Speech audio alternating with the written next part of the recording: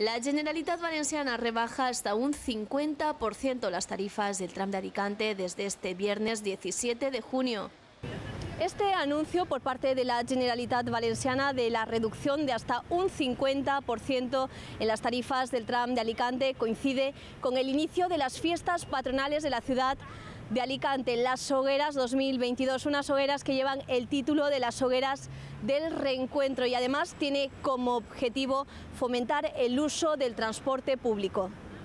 Tienen previsto que la reducción de los precios beneficie a todas las personas que utilicen el transporte público, que también aumentará su disponibilidad para mejorar la movilidad de la ciudadanía. Yo ahora lo utilizo más que, que antes, ahora me dejo el coche en casa y vengo en tram.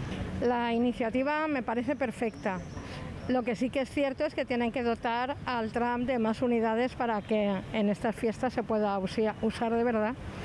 Yo, por ejemplo, voy a hacer uso de él. Al final, un 50% en el descuento siempre viene bien y más ahora en verano para que la gente pueda tener más vida sociable después de estar todo el día encerrado en casa.